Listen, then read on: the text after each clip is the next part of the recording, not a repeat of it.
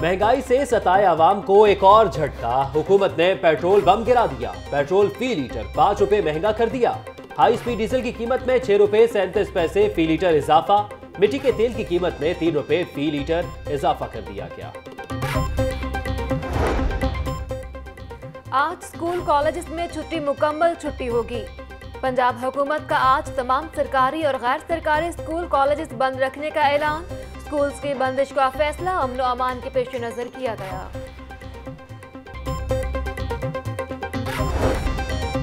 شہر میں دفعہ ایک سو چوالیس نافذ کر دی گئی ہے۔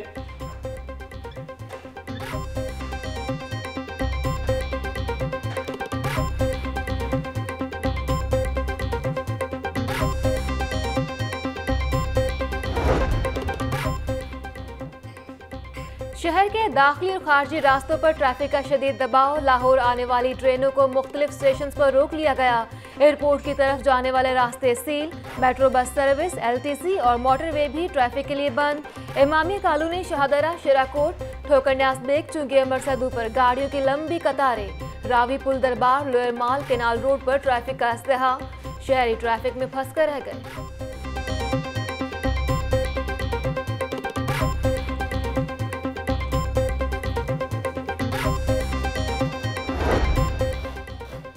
گنگا رام ہسپتال کے بچہ وارڈ میں آتش زدگی کا خوفناک واقعہ۔ نوملو جھلس کر جاں ہو گیا۔ آگ، وینٹیلیٹر کے شارٹ سرکٹ کے باعث لگی ہسپتال انتظامیہ۔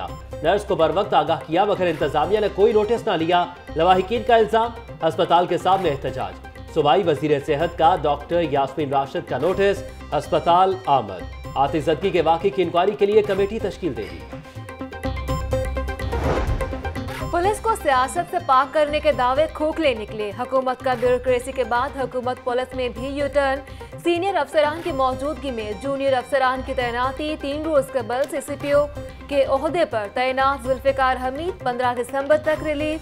سابقہ سی سی پی او بشیر احمد ناصر پندرہ دسمبر تک ذمہ داریاں انجام دیں گے۔ کورس پر ہونے کے باوجود Mustansar Feroz, S S P operations, تعینات اسد سرفراز سے آئی جی ایڈمن اور محمد علی زیا ڈی پی او ساہیوال تعینات۔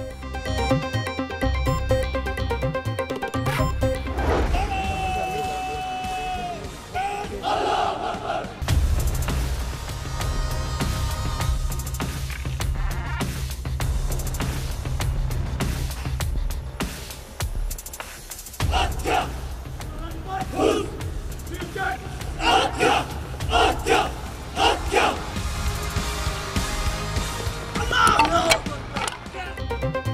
پولیس کے چار سو چھپن کمانڈوز غیر ملکیوں کی حفاظت کے لیے تیار۔ Elite police training school Bedian میں پاسنگ آؤٹ پریڈ جوانوں کا عملی صلاحیتوں کا شاندار مظاہرہ۔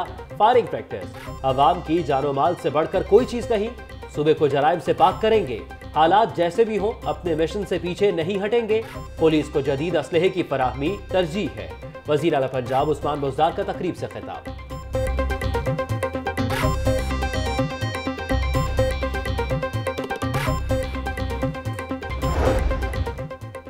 اہم شخصیات کو سیکیورٹی کے لیے تھانوں سے نفری لینے کی ضرورت نہیں ہوگی۔ پنجاب پولیس نے اپنے جانوں کا نظرانہ پیش کرنے کے لیے کبھی دریک نہیں کیا۔ غریبوں میں داد رسی کریں گے۔ آئی جی پنجاب، امجد جاوید سلیمی کا تقریب سے خطاب۔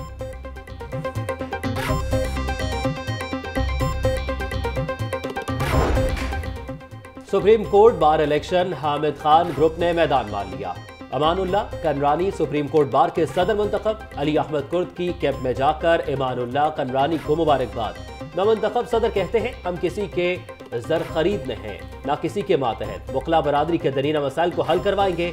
ہم چاہیں گے کہ عدلیہ اور حکمران آئین کے مطابق چلیں۔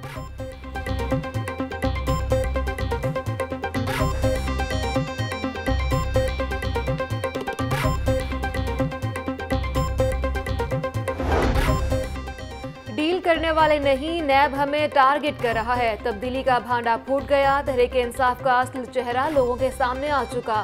اسٹیبلشمنٹ سے معاملات درست ہونے کا بیان سیاح کو سباق سے ہٹ کر پیش کیا گیا۔ صرف معاملات بہتر ہونے کا بیان دیا تھا۔ پی ٹی آئی کو صرف چندہ اور بھیک مانگنا آتا ہے۔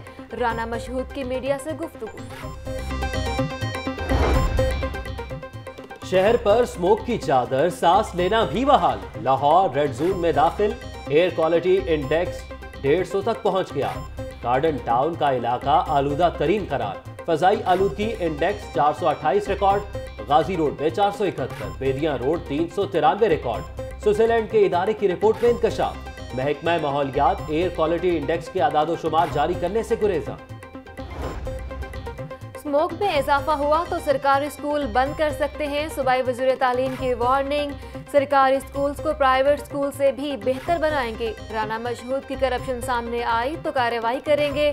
ڈاکٹر مراد راس کی میڈیا سے گفتگو گرلز ہائی سکول گلبرگ میں کلین اینڈ گرین مہم کی تقریب میں شرکت طلبہ میں ماسک تقسیم کیے۔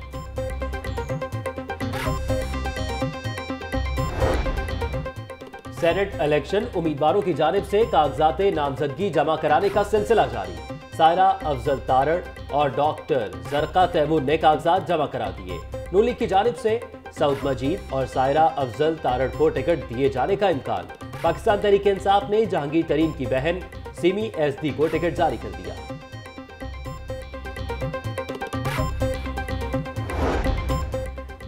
فیصد پاکستانی غیر قانونی طریقے سے بیرون ملک جاتے ہیں، تیس ہزار پاکستانی سعودی عرب سمیت بیرون ممالک کی جیلوں میں قید ہیں۔ مزدوروں کے پاسپورٹ پر ایف آئی اے سے تصدیق شدہ سٹیکر لگے گا۔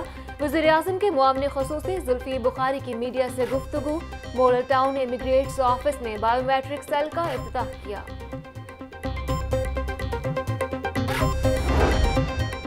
مالی خسارے کا شکار شاہین ایئر لائن کو ایک اور جھٹکا۔ بقایا جات کی عدم ادائیگی پر سول ایویشن انتظامیہ کا بھی بڑا ایکشن۔ شاہین ایئر لائن کے تمام ایئرپورٹس پر دفاتر بند کر دیے۔ ملازمین پریشان۔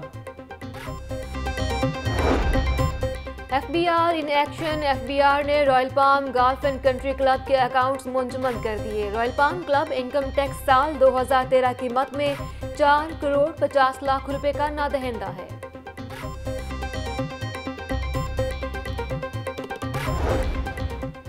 منصورہ بازار اتفاق ٹاؤن میں ڈکیتی کی کوشش ناکام، جنرل سٹور میں ڈاکو کی لوٹ مار، دکاندار کی مزاحمت۔ دکان مالک نوجوان نے ایک ڈاکو کو دبوچ لیا، دوسرا فرار۔ واردات کی C C T V footage Lahore news کو موصول تھانہ، ہنجروال پولیس نے مقدمہ درج کر کے تفتیش شروع کر دی۔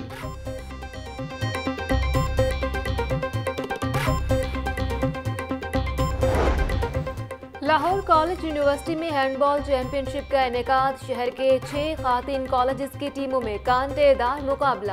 لاہور کالج اور کنیٹ کالج کی ٹیموں نے فائنل تک رسائی حاصل کی۔